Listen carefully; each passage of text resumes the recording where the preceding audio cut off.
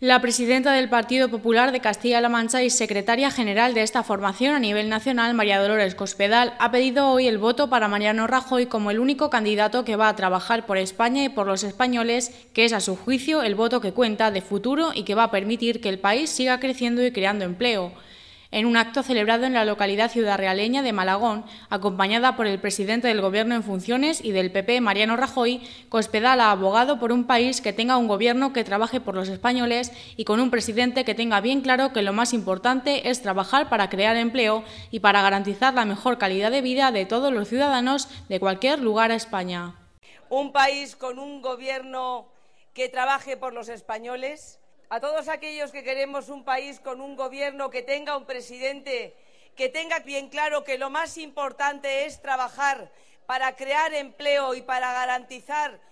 la mejor calidad de vida de todos los ciudadanos, los de Castilla-La Mancha y los de cualquier lugar de España. Y muchas gracias a todos por tener bien claro que aquí el voto que cuenta, el voto de futuro y el voto que nos va a dar que nuestro país siga creciendo y siga creando empleo es el voto al Partido Popular y el voto a Mariano Rajoy. En este sentido, ha subrayado que el PP ha sido quien ha estado a la altura de las circunstancias cuando las cosas estaban difíciles, cuando el país estaba en quiebra, la caja de las pensiones vacía, paralizadas las pensiones, 3,5 millones más de personas en el paro y la sanidad y la educación al borde de la quiebra. La secretaria general del PP ha reclamado que el próximo 26 de junio no vuelva a pasar lo mismo que en las pasadas elecciones autonómicas en Castilla-La Mancha, donde los votos propiciaron que en esta región estén gobernando el PSOE y Podemos.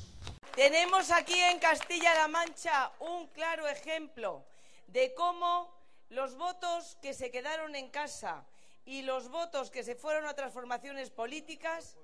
para lo que valieron fue para que gobernara el PSOE y Podemos en nuestra tierra. Tenemos un claro ejemplo, que no nos vuelva a pasar. No nos podemos permitir estar todo el día mirando para atrás. No queremos gobiernos ni gobernantes que estén todo el día creando odio entre los españoles. No queremos gobiernos ni gobernantes que estén todo el rato intentando dividir a España. Y no queremos ni gobiernos ni gobernantes que no crean en su país, que no crean en la fortaleza y en la unidad de España.